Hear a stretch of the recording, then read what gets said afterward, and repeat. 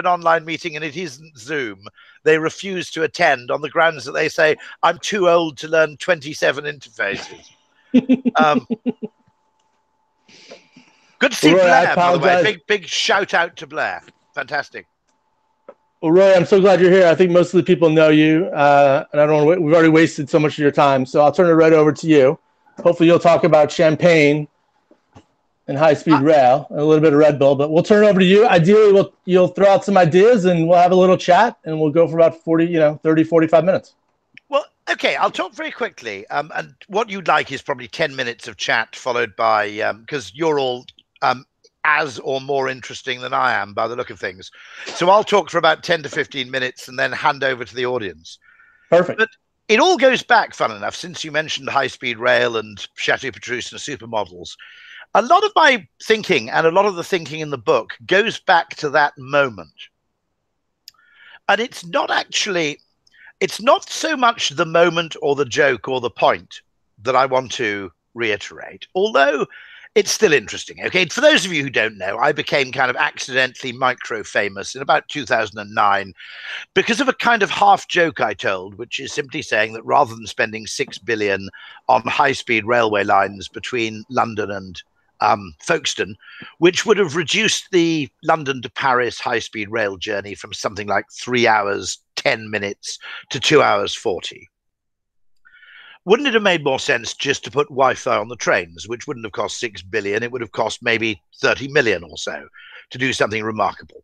Because in terms of what actually makes a train journey more attractive than an air journey, to be honest, the air journey wins on speed, pure and simple. If all you care about is speed, you probably aren't going to be traveling by train anyway. On the other hand, the, the time on the train is useful and it's also an uninterrupted three hours, which most business people crave. Okay. Whereas the time spent traveling by plane is bitty. It involves a huge amount of the problem with air travel is ever since they introduced security, air travel basically became dominated by arsing around. You know, you turn up, you check in some luggage, you go and check in, then you go through security, then you go to a lounge, then you go to a gate, then you're made to wait at the gate, then you board the plane, then someone else crushes your laptop in the overhead lockers. It's not a high quality experience, particularly for short flights.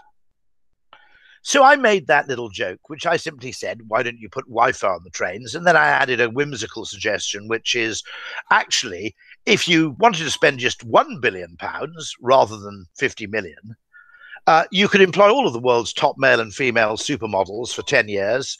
You could pay them all to walk up and down the train, handing out free glasses of Chateau Petrus to all the passengers.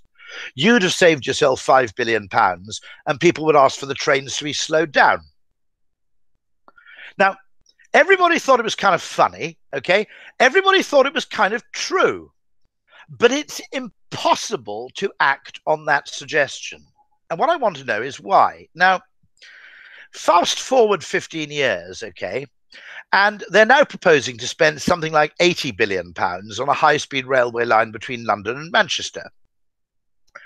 And I said, well, look, it's going to take you 25 years. It's going to cost you 80 billion pounds. What's the point of this? And they said, reduce journey time and increase capacity. And I said, but I can do that by, I can do that. And I can do that in a year and it'll cost you about 4 million pounds. Okay. I can reduce journey time and increase capacity. And they said, no, you're talking nonsense. I said, let me explain. Let's just recontextualize the problem, okay? Let's define journey time not as the time you spend on the train, but as the end to end duration of your journey. Okay, now here are two very simple things you can do. Nobody's done them. Okay. Every time I travel to Manchester, I book something called an advanced first class ticket because if you book a fully flexible ticket, it costs about a million pounds. So you don't. So you book an advanced ticket, which requires you to travel on a specified train. Okay. If you miss that train, your entire ticket is void and you have to pay full fare for a replacement ticket. Okay. Now, as a result, you leave a huge margin of error in order to catch your train, which means I tend to arrive at Euston Station to go to Manchester 45 minutes before my designated train departs, because I can't take the risk of missing it. Which means I hang around uselessly at Burger King, basically waiting to board the train I'm booked onto. During which time, two trains leave 20 and 40 minutes before my own train, because there are three trains an hour, and they're half empty. Okay. So I simply said you could uh, very easily uh, simply have an app. Okay. And it says, I'm at Euston already. And the app, provided there were train capacity, would say, well, pay us 10 quid. And instead of waiting till the train at 9.40, you can board the train at 9.20 or at 9 o'clock. That would reduce journey time by 20 or 40 minutes. Not the engineer's definition of journey time, which starts when the train leaves, but the consumer's own experience of journey time. Furthermore, it would massively increase train capacity of the network and minimize the risk of overcrowding. Let me explain why that is, by the way. If you want to get the maximum capacity of people through a rail network, okay, you should always allow people to travel on earlier trains if there's capacity. Because that way, you then free up later capacity and minimize the risk of basically having unavailable seating. Now, this is intuitively obvious to human beings in one setting. If you watch the footage of the evacuation of the US Embassy compound in Saigon, what you'll notice is they filled up every helicopter with the people there who are waiting. I don't know if you noticed that, okay? They didn't, because if you were trying to escape Saigon, okay, it would have been incredibly off pissing to have someone to say, I'm terribly sorry, this helicopter is going to leave half empty because you guys are booked on the 1230 departure, right? If there was a seat available on the helicopter, they put someone in it because that's how you increase the maximal carrying capacity of a network. And it's no different for trains than it is for helicopters. Okay. So my point was for one million pounds to produce the app, two or three million pounds to advertise the existence of the app. Okay. I could, in the space of a year, increase capacity on this rail route and I could reduce journey time by 20 to 40 minutes on average. Right? Now, I don't know what you think of three million pounds, four million pounds. It's a lot less than 60 billion. I think we know enough maths to realize that. Now, here's the thing which I think is going on, okay? First of all, there are very easy ways to solve problems. One, you start by thinking as a systems thinker, and secondly, you recontextualize. The thing that absolutely fascinates me is I wrote about this, I went to politicians about my suggestion, no one was interested. I wasn't even saying don't build the high speed railway line. I was saying it's pretty dumb spending 60 billion to increase capacity and reduce journey time and wait 25 years to have that delivered when you could achieve much of the same effect at three orders of magnitude, six orders of magnitude less money. Okay. And you could do it more or less in the space of a year. Now, do you all agree that, that that's a perfectly sensible point to make? so my question is what is it about institutional decision making that makes people incapable of this kind of creative solution and my hunch is that systems thinking is basically low status whereas deterministic thinking is high status engineering conversations are high status um, whereas marketing conversations or conversations about human experience or anything that involves recontextualizing outside very, very narrow scientific and economic metrics is basically not admitted in the Overton window of policy making or business decision making. Okay. And the interesting question there is that I noticed this because occasionally, as a marketing person, I got made a non executive director on various boards. I suddenly realized that being a marketer on a board is completely useless, particularly if you're the only marketer on the board.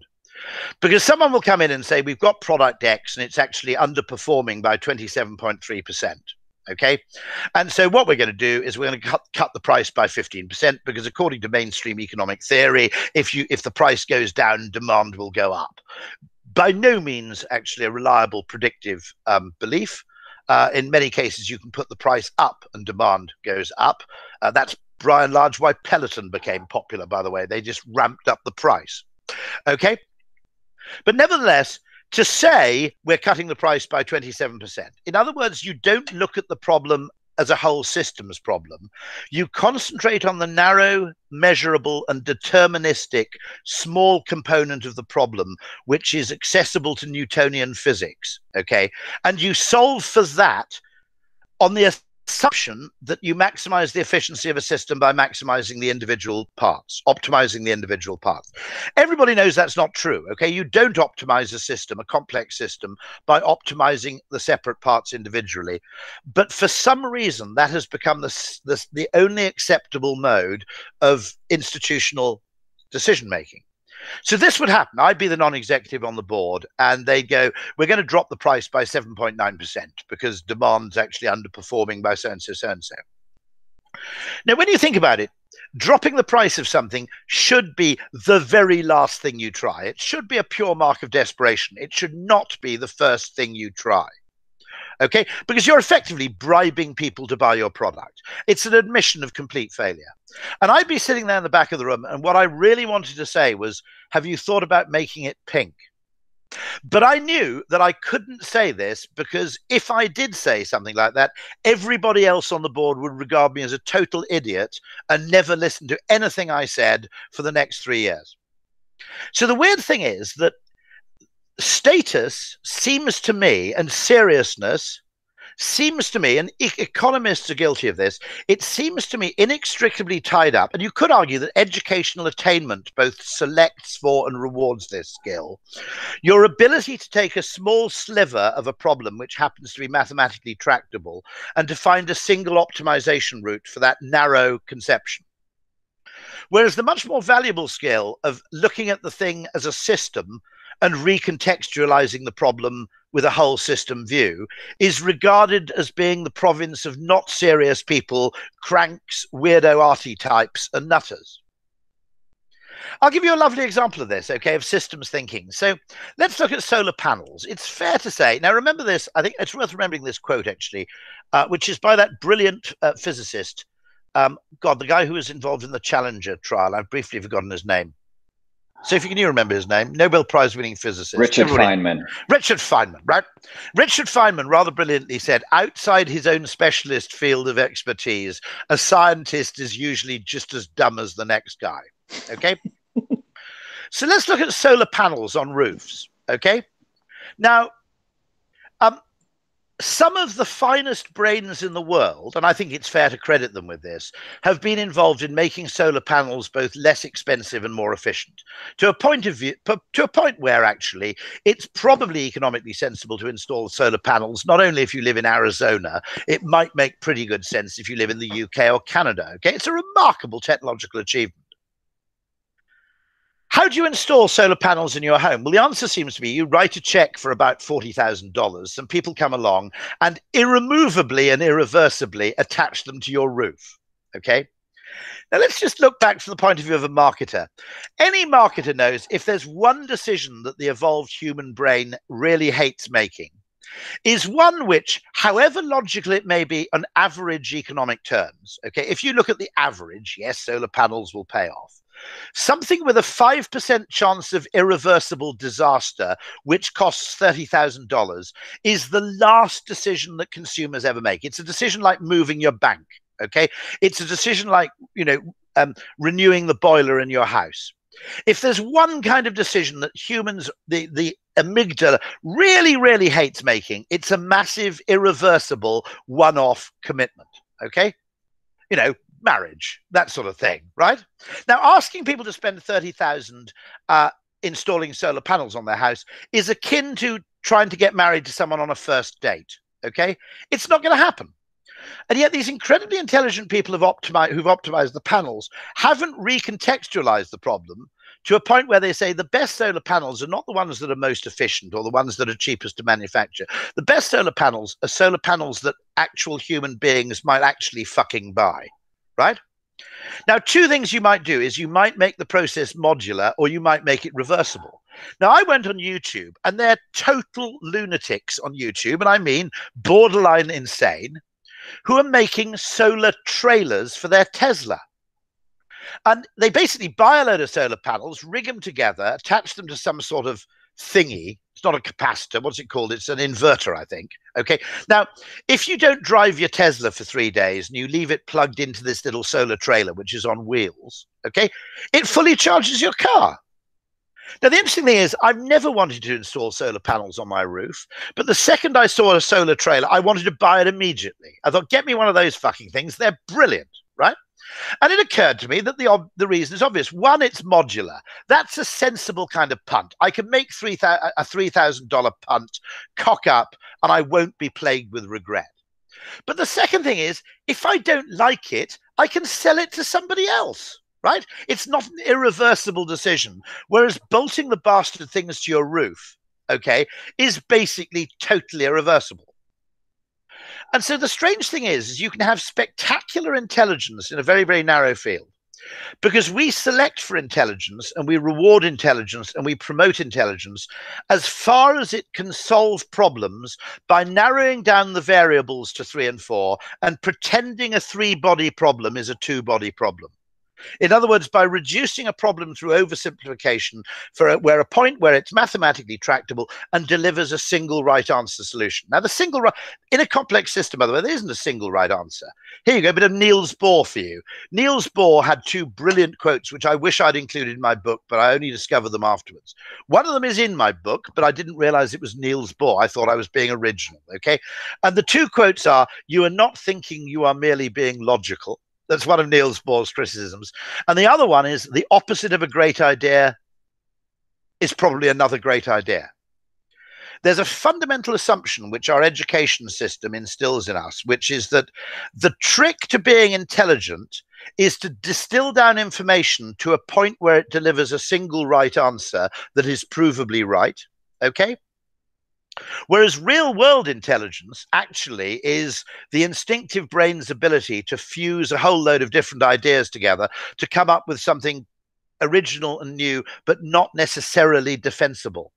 And so I think defensive decision making is having a huge deleterious effect on business creativity and innovation because not only does it demand that everything we do makes rational sense, it has to make rational sense in advance. Okay. But if you look at Dyson, Nespresso, Red Bull, Amazon Prime, um, I could reel off a few more Gousto, Blue Apron. None of those businesses made any sense in advance. Okay. No one before Starbucks existed was wandering around going, why can't I spend $4 on a cup of coffee? Okay. Red Bull. Who would have thought that the most successful attempt to compete with Coca Cola was a drink that comes in a tiny can, costs a fortune, and tastes disgusting, right? No one was asking for that. Okay. And yet it is the most successful attempt to compete with Coke. James Dyson, if he'd come to me and said, I think there's a market for an $800 vacuum cleaner, I would have had the man sac- sectioned. Okay. And then if he'd said, but wait, you haven't heard about my $400 hairdryer, I would have had him escorted out of the building as a dangerous lunatic. Yet he's a billionaire and I'm not. Now, what I'm saying here is that we're somehow making the deployment of naive rationality as a precondition of any activity seems to me to be an extraordinary limitation on progress for the simple reason I'm going to end here. Okay. I think there are just 10 times more great ideas that you can post rationalize than there are great ideas you can pre rationalize. I think if you make pre rationalization a condition of anything you try experimentally, you're limiting yourself to about 10% of the potential solution space.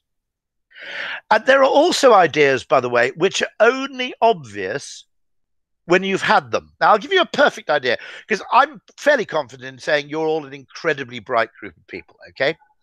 But when I say to you, next time you move house or remodel your kitchen, you should get two dishwashers, okay? All but one of you, I'm willing to get, will go, this guy's on crack, right? Why the hell would I have two dishwashers? Okay. Uh, okay. Now, the interesting thing is, it's only obvious in retrospect. When you have dish, two dishwashers, you don't lose any storage space and you never have to unload a dishwasher. Let me explain. Okay. You have an empty dishwasher, right? You fill it up with dirty shit. You turn the dishwasher on, at which point it's your clean dishwasher. And then you retrieve things from the clean dishwasher, eat off them, put them in the empty dishwasher, which becomes the dirty dishwasher. Eventually, when the dirty dishwasher's full, you attach a post it note to it saying clean, you turn it on, and then the whole process reverses. Okay. But I'm willing to bet that that is only obvious to you now I've explained it, and that it never occurred to any of you, hugely intelligent though you may be, in advance. I, I think, two dishwashers. Now uh, you're the guy. You see that total. this this guy is a don. Okay, you see, it's really interesting. Now, everybody with two dishwashers knows this and basically thinks everybody with one dishwasher is insane. But it's impossible for people with one dishwasher to understand the logic. It has to be seen to be believed. And so I think there are so many ideas out there which we'll never get to through sequential logic that actually our requirement that everything we try has to kind of make sense and our denial of experimental thinking is a massive obstacle to progress. So there you go. That's why I wrote the book. Love it. So who has a question? I'm happy to go first, but I know I'm sure somebody's got one. So just jump in and ask away. Blair, do you want to go ahead? Yeah, I want to say hi, Rory. I really appreciate this. I, I missed your opening remarks. I was having some technical problems here. Um, I got to ask, Blair, where are you? Because someone told me you live in some incredibly obscure part of Canada. Is that true? Yeah, you know where Vancouver is? Yeah, no, no, that's not obscure. I'm a short 11 hour drive from Vancouver. Fabulous. oh, joy.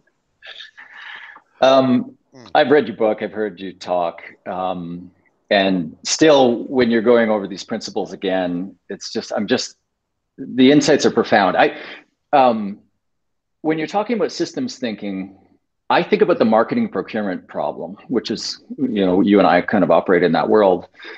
Um, and the marketing procurement problem i, I go back to systems thinking. It, there's a basic tenet of systems thinking that says and you've essentially elucidated this which is that um, when you optimize you optimize the, a, a subsystem, you sub-optimize the system. And I think most of the problem that you just talked about is effectively yeah. that, right? It is beautiful. I've never heard that before, but that is beautifully put. Thank you. So I think of marketing and procurement. The problem with marketing and procurement is procurement is driving, is in the pursuit of efficiencies. Marketing is in the space of innovation. And these two things are mutually opposable goals. And they don't understand that you cannot efficiently procure innovation right? So procurement is not optimized towards a better marketing solution. They're optimized towards saving money. So procurement is optimized towards saving, marketing is optimized towards innovation. And the, you got it. And and the problem resides at the CEO level. And I think this is why you're running into problems with institutions, with governmental institutions, because they this it's the CEO's job, and you you hit on this point too, in different language. It's the CEO's job to balance, look at the different subsystems and decide where they're going to be suboptimal. And when the CEO doesn't step in and say, hey, marketing and procurement, you two are at odds with each other, we need to compromise, then one is allowed to dominate. And it used to be that marketing dominated, now procurement dominates. Right. And I, I wonder if the, the challenge that you articulate, because you do so much work with government, isn't doesn't stem from the fact that politicians they're not really optimizing for the system. No, they have they have kind of an alternate ulterior motive. There's something that's really important to them that they're optimizing for, and hence well, the trade-offs there everywhere There are else. a few things there, which is you'll never get fired for optimizing your part of the system, right? Regardless of the deleterious effects it has on the system as a whole. That brings me into a few other quotations, which are quite useful, I think, from people in history who've spotted the same problem. One of them is Harry S. Truman, who said, Anything is possible just so long as you don't care who gets the credit. Because um, if you sub-optimize your part of the system to benefit the system as a whole, someone else ends up getting the credit and the bonus. Okay. Right. And then the other one is you never get fired. This is the asymmetry between creativity and logic, which is one, creative people have to, if you have a counterintuitive idea, you have to present it to rational people for approval. That process never happens the other way around. You never get a bunch of accountants in the room who say, we think it's 7.5%, but before we present this to the board, we're going to show it to some really wacky people to see if they've got alternative ideas. Okay. So a WPP. I mean, okay, don't quote me on this because I'll lose my job. Okay, but it's a it's a creative transformation company which runs on 1950s Taylorist lines. Okay, and we've just had this thing where we're told you've got to use Microsoft Teams rather than Zoom. And I said, it's a pandemic. The whole world's shifting to remote working. The first assumption you've made is that we can only have one video conferencing platform. Given the cost savings in travel, it would make sense for us to have about three. Okay. I would happily write a check for WebEx, Zoom, and Teams. Secondly, by the way, which is more likely to be the good video conferencing system, the one you pay for, Zoom, or the one Microsoft gives away for free to stop you migrating to another platform? I think we can guess the answer to that question, right? Okay. okay. You know, if it's the jack of all trades heuristic. If you only make money out of video conferencing, you know, Gordon's gin. If all you make is gin, you've got to make pretty good gin. There's a bar around the corner from me called Bloody Mary's. When I go there, I always order a Bloody Mary because if you call your bar Bloody Mary's, you've got to be, make a pretty good Bloody Mary. You can't skimp on the celery salt, right? okay, it's a simple bit of logic, but the the optimization thing, and of course the power of finance, which is the worst case of optimizing for part of the system. Um, uh, uh, and so there's another great quote from Keynes, which is worldly wisdom teaches it is often better for the reputation to fail conventionally than to succeed unconventionally, which I think is a very interesting quote. And there's also a fantastic the thing JP O'Shaughnessy said to me, he said, the trouble we face is we're a, we're a deterministic being living in a probabilistic universe. And there's a very interesting um, there's a very interesting story in Daniel Kahneman's book, Thinking Fast and Slow, where he goes to present to the board of a huge company. I think it was GE, but he never says what it was. It's about 10, 15 years ago. And he goes around the heads of all the various divisions, you know, the, the huge metal things division and the lighting division and the finance division. And he goes, I can offer you odds where next year, if you take this decision, there's a 50% chance that your revenue and profits will go up by 50%. There's a 30% chance your revenue and profits will go down by 30%, and there's a 20% chance nothing will happen. Would you take those odds? All but two of the nine people around the table said no. And he said, Why not? He said, Because there's a 30% chance I'd lose my job.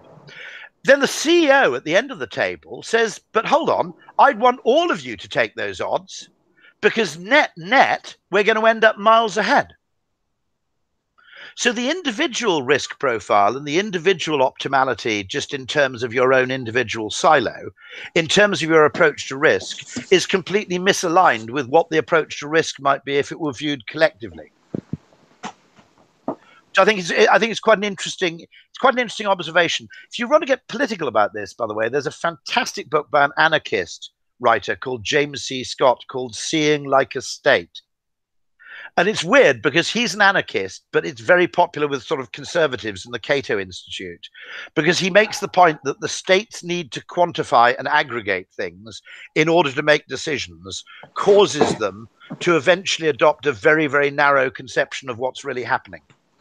Because the only information they can process is the information that happens to be numerical and aggregatable. And so what doesn't fit, what what what you can't measure, effectively doesn't count. So I, I, think that I think there's some really really interesting questions here, and I think your point about if you optimize part of the system, you're sub-optimizing the system as a whole, is spot on. And yet most companies are run on the assumption that they're one and the same thing. Kind of makes the case that CEOs should be polymaths, or at least should be kind of economists in the sense that they're they're always thinking in trade-offs because the heads of departments are not thinking yeah. in trade-offs. They're optimizing towards something. Here's an interesting framing thing as well which is if i talked about redundancy okay or resilience most people would perceive it as a cost wouldn't they? We need to have two advertising agencies. We need to have two suppliers of ppe equipment in case one of them goes wrong.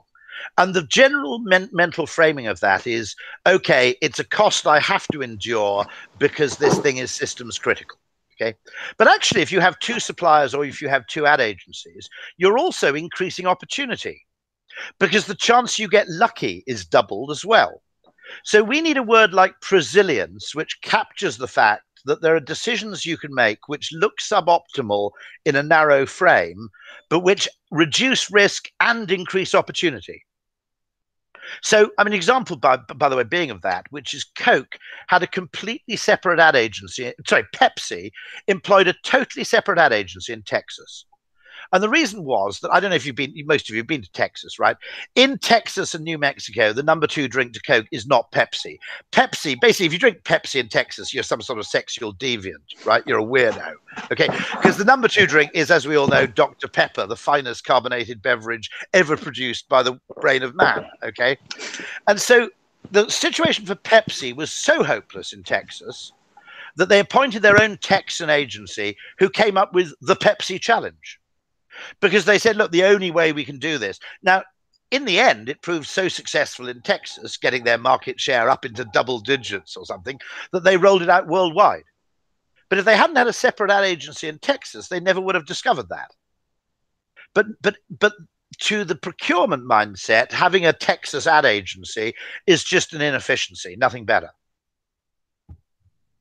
I, I think this is utterly fascinating. And you're right that procurement have a particularly narrow view of what they're trying to optimize. But the weird thing is, if you talk like a systems thinker, most people become uncomfortable because their educational and professional stature depends on their ability as non systems thinkers. I think.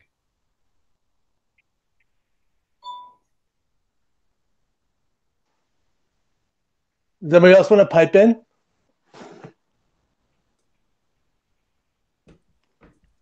Rory, I'm wondering how can we introduce, like, yeah, obviously the idea of small bets, or you know what Blair talks about.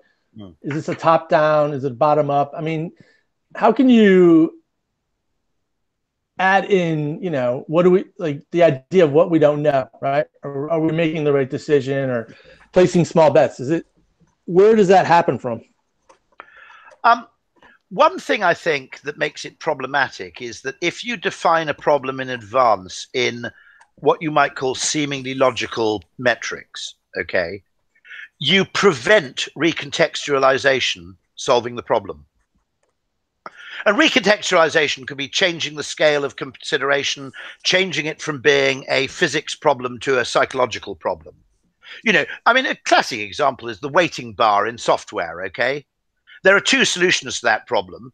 Okay, you either make the process faster, which is generally a good thing to do with software, regardless. Okay, but at the point where you can't make it anymore, if you have something wiggling and going round and round, people are basically pretty happy. And if you if the screen freezes, people go batshit insane. Okay, so if you recontextualize the problem and say this is partly a software problem, it's partly a psychological problem, you end up with something that's actually pretty optimal altogether you know. I actually but i'll tell you a very funny story by the way. If you write a book if you ever write a book before you send it to your publisher okay go and find a friend with really really crap broadband and upload it there. Because i i spent a year and a bit writing that book and it's about i can't remember it's 120,000 words okay? And you press send and it goes beep and it's gone okay Fucking hell, that's a year's work. I want to watch that upload for at least five minutes, you know? You know, if you've written a book and it's taken you a year to write and it uploads in 0.7 seconds, that's not actually good. That's deeply depressing. and so so the, the fascinating thing is that you know you could also reframe the problem so you make the waiting enjoyable.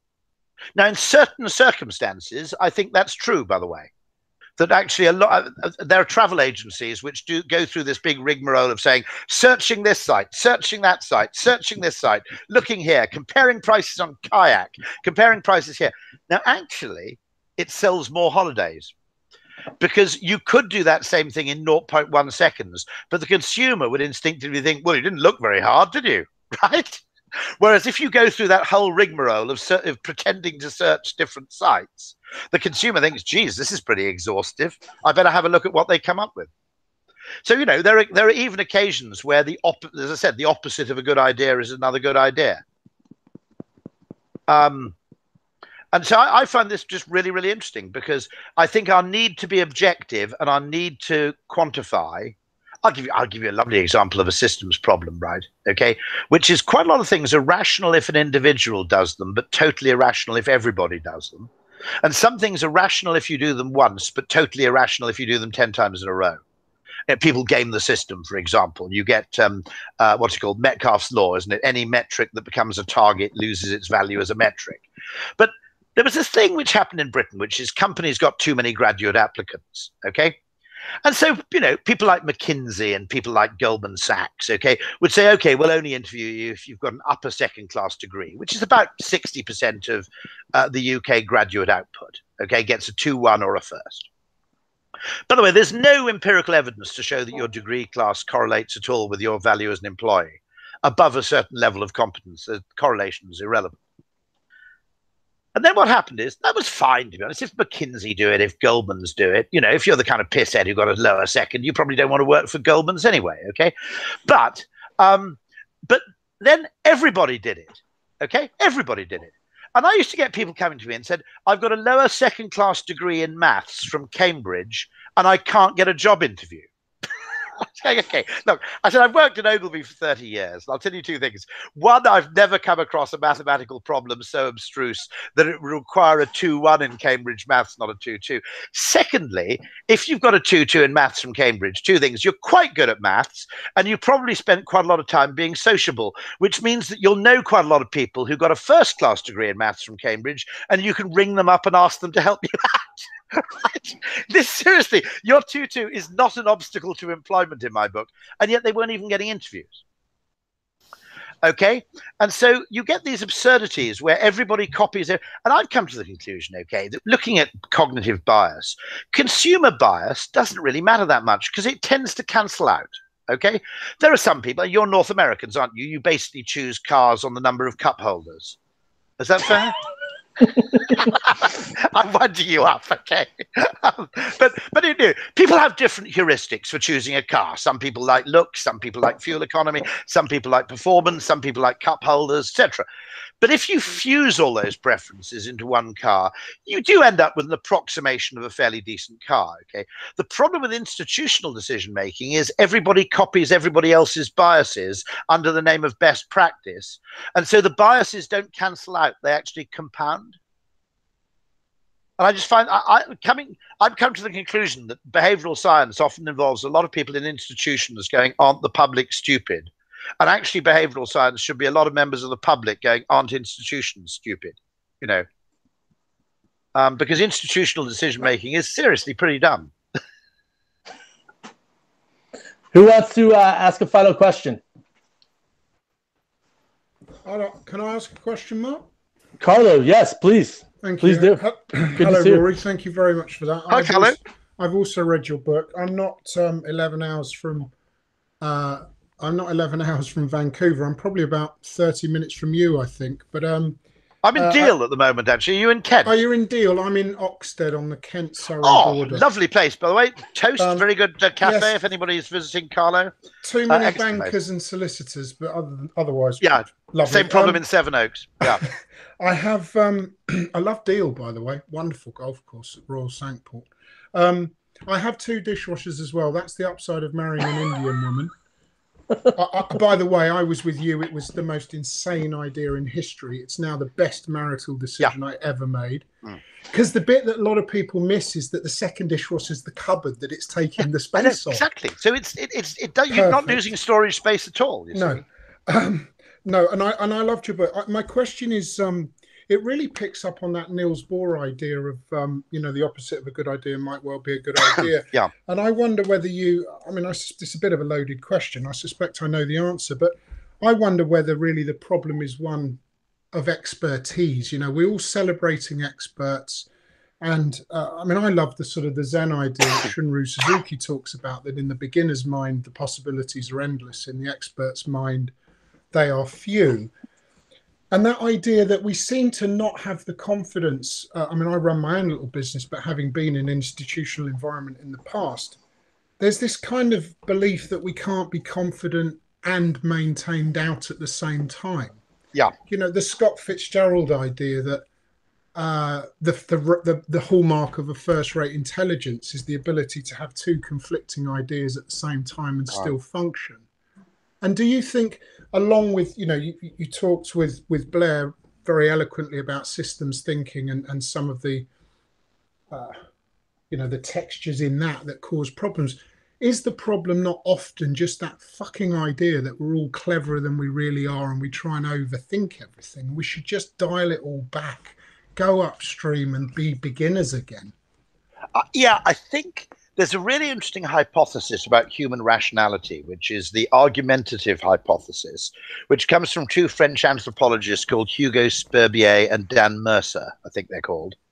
And um, uh, their theory is that the humans humans evolved a faculty of reason not to make decisions.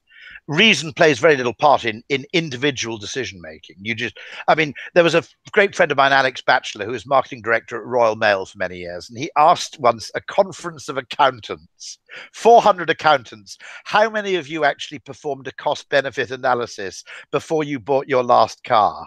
And he said, so out of the four or five hundred people, he said six hands went up, attached to the saddest individuals on the surface of the planet. You know, um, and um, in individual decision making, we don't do this. And the theory is that we develop the faculty of reasoning with the mindset of a lawyer to defend our decisions and to argue for them, not to make them. And so we regard as a good decision instinctively, not a decision that will have good consequences, but one which is easy to defend. And so I think that's at the heart of it. And so that as a result, also, admissions of ambiguity and ignorance aren't exactly career enhancing. you know. you know, going into a room and saying, to be absolutely honest, I haven't got a clue what's going on here. You know, I, I still don't fully understand what's going on with the Dyson, to be honest you know, I've got a theory, and my theory is very simple that basically you get an endorphin rush from a bargain and you get an endorphin rush from an extravagance, but you don't get an endorphin rush from mid market retail. You know what I mean? You get a thrill from going to Prada, guilty thrill. You get a bit of a thrill from going to TJ Maxx or TK Maxx if you're a Brit. Okay. But you don't really get a thrill from Marks and Spencer's clothing. You do from the food because it's expensive as buggery, right? But the clothing's kind of meh. It's neither one thing nor the other. And so, you know, maybe that's it. You know, you go, well, I've got to buy a vacuum cleaner anyway. So I can either spend £300 and go, ooh, I've got a vacuum cleaner, a bit like the old one, or you can spend 700 and you actually get a bit of a buzz out of it. You know, I was once shopping for bedding with my wife, and I said in the shop, I said, tell you what, I'll make you a deal. Can we spend one of two amounts of money here? Nothing or a lot. and my wife said, my wife said, that doesn't make any sense. And I said, yeah, it does. Because if we spend nothing, I've saved 200 quid. We've still got the bedding we've got already, which I hadn't noticed any problems with. And I can go and buy a drone or something, right? On the other hand, if we spend a lot, I can get really excited about tog values, thread counts, Oxford pillowcases, mattress toppers, you know, you know, ooh, Egyptian cotton, right? And I can turn it into a bit of a nerdy project. But I said, I, what I don't want is a halfway house where I spend 200 quid and the bedding's basically like what we had before, but a bit newer. You know, so there may be loads of areas of human consumption that follow that really weird rule. You know, you know, you're either Motel Six or you're kind of a five star hotel. You know, people in some ways, you know, we get we get we get Motel Six, we get a five Ryanair, or you're kind of, you know, NetJets. You know. Rory, thank you so much. Sorry for the uh, technical issues. Do you want to talk a little bit about Nudgestock, your event in yes. November? So it's on the 11th of June. It's going to be 13 hours. So I don't expect you to watch the whole thing, but we stream it live through YouTube. So if you've got a smart TV, by the way, actually, just as a total distraction, everybody's talking about obviously the huge effect that the adoption of video conferencing is going to have on working patterns and property values and everything else. Do you want a good property tip, by the way? This is from my brother, who's an astrophysicist, okay? And it's a brilliant recontextualization. If you divide the UK landmass, this doesn't re- I don't know how this works in Canada, by the way, it probably works even better. If you divide the UK landmass by its population, everybody gets about three quarters of an acre. Okay, that's actually quite a lot of land. In Canada, everybody gets something the size of Gloucestershire, roughly speaking, don't you? Okay, right? Blair, you probably can you actually see the end of your garden? No, you can't, can you? No. Anyway, but but okay. If you divide the UK coastline by its population, everybody gets three quarters of an inch. So if you're looking to invest in property and you want scarcity value, go for lakefront or seafront property. Okay, as Harpo Marx or whatever said, they're not making that anymore. You know. Anyway, um, sorry, well, I got totally distracted by myself. I'm terribly sorry. But that's a great example of a recontextualization. No, what I was saying is everybody's talking about what are the effects on land values and urbanization and density living um, occasioned by video conferencing. There's another big thing, which is actually, which nobody's talking about so much, which is there's a thousandfold increase in the number of events, lectures, conferences, talks, which are being now effectively televised. So we do have a kind of long tail of television um, I mean, I went to a conference on insect epidemiology hosted by Duke University a month ago. And I do remember as I logged in thinking, imagine going to Ogilvy Finance and saying, Can you give me $4,000 to attend a conference on insect epidemiology and seeing how they react? So, actually, this serendipity, which people claim to miss from the office, um, is actually being recreated online. But anyway, Nudgestock, it's on the 11th of June. We've got Daniel Kahneman, we've got John Cleese, we've got Dan Ariely, uh, there's a bit of me, um, we've got some fantastic behavioral scientists. And it's sort of 12 hour online festival streamed live over YouTube. And if you go to nudgestock.co.uk, don't miss out the G because Nude Stock is a very different website altogether. Um, but if you go to nudgestock.co.uk um, and you register your email address, you'll get sign in details and it's free. So there you go. Rory, thank you so much. Kahneman and Cleese. Not bad, is it? Not a bad combination. Rory, that was great. Actually, yeah, I attended Nudgestock last year, which was great virtually. So I'm looking forward to the event in uh, in June. I said November because I misread it as an American. No, no, it's the oh ah. oh, I never thought of that. Okay, eleven. Eleven oh six. So I said November yeah, yeah, yeah, but it's I misread it. Ah, Anyways, right. Okay, I'll remember that. If you haven't uh, read, uh, go ahead, Rory. No, no, go ahead. I, I, no, I was just going right. to say, if, if, you haven't read Rory's book, it's fantastic. He's very prolific. Um, he's great on the Twitter. He's great on the wiki column. So, Rory, this is a real thrill. Thanks for making the time thanks everybody else for reaching out and joining it's us. And, uh, anytime. And really good to see you, Blair, because I've been a long time fan. So really fantastic. Likewise, Rory. Thank you. what a pleasure. Bye bye. Thanks, guys. Talk to you soon. Ciao. Thanks, good to Mark. see everybody. Good to see you, Carla. Bye-bye. Thanks, Mark. Thanks for having me. I appreciate that. Yeah, that was great. Thanks for joining. Yeah, sorry, I didn't mean to just show up the first time and kind of dominate. Um, You're yeah. good, man. It's all good. Good. Great. Let's talk soon. Thanks. Yeah, yeah, for sure. Ciao. Cheers. Bye.